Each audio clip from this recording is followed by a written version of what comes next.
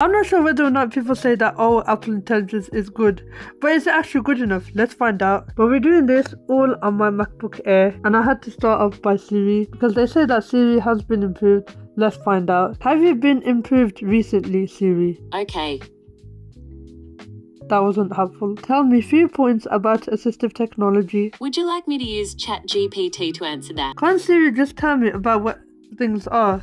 Rather than just asking me, oh, can you use ChatGPT? Well, in that case, I'd just press yes. Now, it is kind of good that what ChatGPT is doing with Siri, but I would prefer that if it just reads out to me. That'd be more better rather than me reading everything down. Even better, if Siri was integrated with ChatGPT, I'll just ask something and then ChatGPT would just kick in if Siri can't find anything. Because usually with Siri, it just gives you like random links, which is not that helpful. I guess one feature that people are hyping about the photo editor inside the Photos app has to be the cleanup feature, which is alright-ish. Kind of. I could not use Image Playground because none of my photos are in the Photos app. They're mostly in my Google Photos where all my videos and photos are stored in. I do not like Genmoji because whatever I describe, it just does not give to me, and that's inside the messaging app. Like, really? You know what? I'll just stick with the normal emojis.